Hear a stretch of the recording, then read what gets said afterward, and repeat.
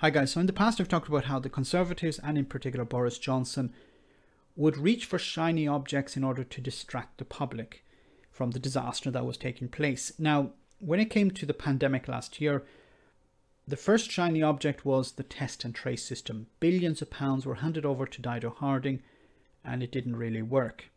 The next shiny object was Operation Moonshot, where millions of tests were to be carried out every day Matt Hancock, Boris Johnson rolled it out in Parliament, and we haven't really heard anything about Operation Moonshot. So the next shiny object I'll get to in a moment, but I want to explain a bit of context here. Great Britain is no longer a member of the single market and the customs union. So Great Britain being England, Scotland and Wales.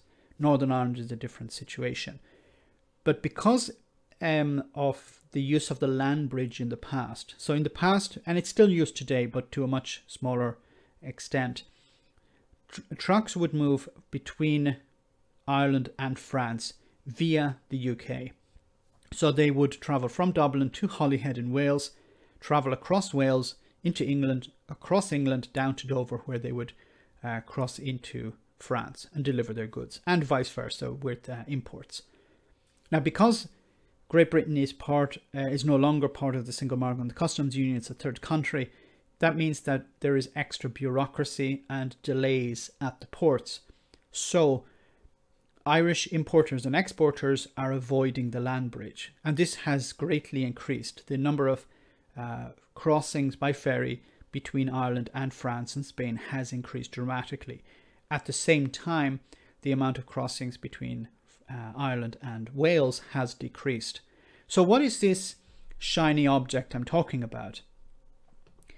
It's Boris's burrow. So it says here from Sky News, tunnel linking Scotland and Northern Ireland backed by Scottish Secretary Alister Jack. The Prime Minister initially floated the idea of a bridge, but a tunnel is now seen as a cheaper and more viable option. So this is a, a this was originally uh, the idea of a bridge between Scotland and Northern Ireland, as you can see on the screen. Now, the number there were a few problems, little problems, uh, problems we could say, or little problems between uh, of the idea of having a bridge, a physical bridge between Scotland and Northern Ireland. One issue was, of course, the the water. The waters are quite rough between Scotland and Northern Ireland, and it would make building a bridge problematic. Uh, a much bigger problem, of course, was the unexploded mines that are lying on the seabed from World War II um, in this stretch of water. And also, it must be remembered that the depth of water between Scotland and Northern Ireland is much higher, it's much deeper than, for example, the Channel. So, the channel between um, England and France. So, it would be quite a task building a bridge. So, another option, of course, is to build a tunnel. Now, there is this idea that it would be similar to the Channel Tunnel between France and the UK and England. But the problem with that also is that, as I said before, the the depth of water is is much deeper, um, much higher or much deeper in this channel than it is between France and England, which means that the tunnel would have to be much deeper at the uh, at both ends to go underneath this uh, stretch of water. That would mean it would be more expensive and perhaps more dangerous in its construction. So, but what's what's the benefit of this? Is there a real benefit?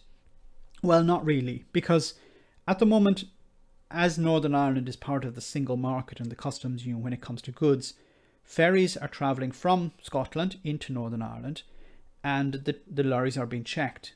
The problem is not the quantity coming over, it's there are checks. So even if there was a tunnel built, at the very end of the tunnel, there would be a customs check. So you would have queues of trucks, not um, on ferry boats, but they would be in a tunnel, which I think would raise some concerns as well. This is once again a shiny object by the Conservatives and Boris Johnson to distract from the problems that are faced, that are being faced by Northern Ireland at the moment. Northern Ireland is part of the single market and the customs union when it comes to goods. Goods have to be checked. Building a tunnel won't fix that problem. Now, there is something that could fix that problem. It could be Great Britain joining the single market and the customs union. That would actually fix the problem. It would fix many problems. It would fix the problems at Dover, it would fix the problems for the fishing industry. A bridge or a tunnel will not.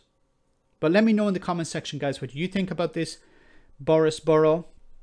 As always, your comments are greatly appreciated. Thanks a lot. I want to say a big, big thank you to all of my patrons. You ensure that this channel continues to exist. I'm eternally grateful for all of your support. If you join Patreon, you will receive instant access to our Discord server where we have both audio and video chats. You can chat with me and other patrons where we discuss important and non important issues. Becoming a patron per month costs about the same as a large coffee, so why not check it out?